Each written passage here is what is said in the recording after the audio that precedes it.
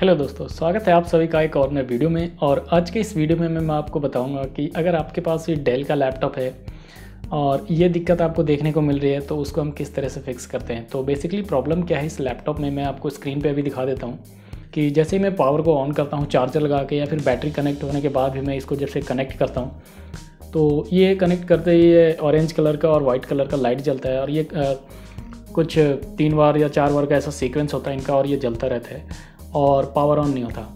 तो power on नहीं होता तो आपका काम फिर चलेगा नहीं। तो जनरली ये डेल के लैपटॉप में आपको देखने को मिल जाता है। अगर और भी किसी लैपटॉप में ऐसा होता है तो सेम प्रॉब्लम होती है।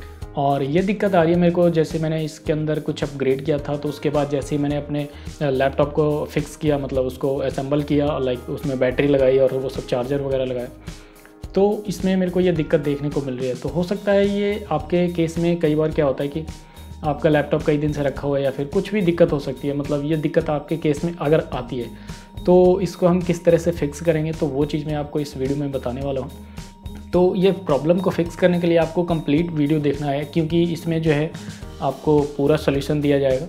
और आप अगर वीडियो को थोड़ा सा स्किप करेंगे तो हो सकता है कहीं कुछ मिस्टेक हो जाए और जिसकी वजह से आपका जो है ये प्रॉब्लम और ठीक होने के वजह बढ़ जाए। तो ये जो मैंने मेथड ट्राई किया है, इसके वजह से जो है आपका लैपटॉप फिक्स हो जाएगा।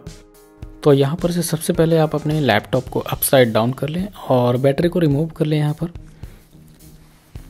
बैटरी को रिमूव करने के बाद आप यहाँ पर से क्या करें कि इसको जो है सीधा अपने रियल स्टेट में ला दें, जो कि इसका सीधा करके इसको आप ऐसा सीधा रख लें। और सीधा रखने के बाद इसको लीड को उठाने के बाद आप यहाँ पर से जो है, आप इसके अंदर जो पावर बटन है, इसको 15 से 30 सेकंड तक का दबा के रखें। 30 सेकंड मैं आपको यहाँ पे बता रहा हूँ, क्योंकि ये 30 सेकंड का एक टाइम है, वो इनफ है। और यहाँ पर से जो है, मैं इसको 30 सेकंड के लिए होल्ड कर होल्ड करके रखूँगा पावर बटन को। इसमें जो है, आपका चार्जर और बैटरी दोनों रिमूव होना चाहिए। तो दोनों आप बैटरी और चार्जर को रिमूव करके रखें थोड़ी देर के लिए, जब तक आप इसको जो है पावर बटन ऐसा दबा के रखेंगे। तो अभी जो है मेरा तीस सेकेंड बस कुछ ही देर में होने वाला है तो इसको मैं थोड़ी देर बाद इसको छोड़ूँगा अभी। और देखता हूँ कि ये ठीक होता है कि नहीं होता है। अगर इस मेथड से अगर ये ठीक नहीं होता तो हमारे पास कुछ और भी तरीके हैं इसको ठीक करने के।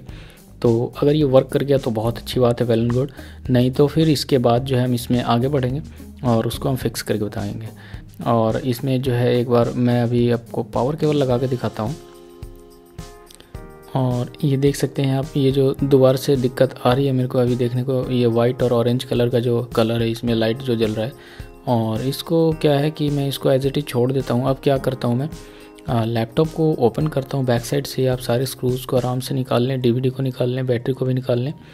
और यहाँ पर से कीबोर्ड को ये पाँच हुक लगा के जो ऊपर से लगा हुआ इसको हटा लें। पाँच स्क्रू ऊपर से आपको देखने को मिल जाता है। तो ये आप हटा लें, आपके मॉडल में हिसाब से थोड़ा सा डिफरेंट हो सकता है। तो ये कार्ड वगैरह किसी को यूज़ करके आप आराम से जो है इसको आप धीरे धीरे धीरे धीरे उठा लें साइड से। कहीं भी कुछ टूटे ना, ये ध्यान दें, आप आराम से करें, कोई जल्दबाजी नहीं है। तो ये चीज़ करने के बाद अब आप क्या कर सकते हैं कि यहाँ पर से लीड को उठा लें, पीछे बैक साइड वाला जो इसका और इसके बाद आपके सामने लैपटॉप हो जाएगा। और ये इस तरह से क्या करना है, आपको सबसे पहले इसके अंदर से आपको यहाँ पर से रैम निकाल लेनी है। और रैम निकाल के इसको मैं दूसरे स्लॉट में लगाऊँगा। यहाँ पे क्लीन कर लें, थोड़ा सा आपके पास अगर इरेज़र है या फिर कोई ऐसा तो उसको एक बार क्लीन करके रैम को अपने आप जो है, यहाँ पर से इंसर्ट कर दें और इंसर्ट करने के बाद ये दूसरे स्लॉट में लगा के देखें। कई बार अगर आपके पहले, उसमें पहले मेथड से ठीक ना हो तो।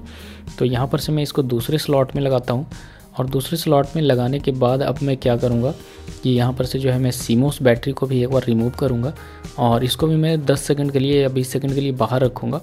और इतने देर के लिए आप भी इसको बाहर रखें, क्योंकि स्टैटिक चार्ज अगर कोई भी इसके अंदर होता है तो वो जो है इसमें हट जाएगा। और टाइम इसमें सेट आपको दोबारा करना पड़ेगा तो इस बात का ध्यान रखें कि जैसे आप इसको हटाते हैं तो हो सकता है टाइम आपका जो है सिस्टम का वो टाइम और डेट रिमूव हो जाए मतलब हट जाए। इस तरह से आपको ये करने के बाद आपको ढक्कन को दोबारा से लगाना है और इसको बैक पैनल जो है, नीचे का जो पैनल है ये इसको अच्छे से चारों तरफ़ से दबा के और ये प्रॉपर आप देख सकते हैं, इसमें जो है थोड़ा सा कैप रह जाता है। तो इस बात का ध्यान रखेंगे और और ये दबाने के बाद जो है आप आराम से इसमें सारे स्क्रूज जो है पहले से उसको फिट कर ले। जल्दी जल्दी मैं यहाँ पर से स्क्रू को फिट कर लेता हूँ। और ये फिट करने के बाद अब मैं एक बार आपको लैपटॉप को ऑन करके दिखाता हूँ। तो यहाँ पर से मैंने चार्जर को कनेक्ट किया। बैटरी अभी मेरी बाहर है। बैटरी आप कनेक्ट कर सकते हैं कोई दिक्कत नहीं। तो यहाँ पर से एक बार जो है मैं अब एक बार पावर बटन को दबाता हूँ और आप देख सकते हैं ये आ, मेरा लाइट जो है वो वाइट कलर का दिख रहा है। तो मेरा प्रॉब्लम प्रॉब्लम फिक्स हो गया है। उम्मीद करता हूँ आपका भी प्रॉब्लम फिक्स हो जाए। और अगर आपने मेरे यूट्यूब चैनल को अभी तक सब्सक्राइब नहीं किया तो सब्सक्राइब कर लें। बेल को प्रेस कर दें। ताकि आने वाले हर एक वीडियोज़ का नोटिफिकेशन आपको सबसे पहले मिलता रहे। Thank you for watching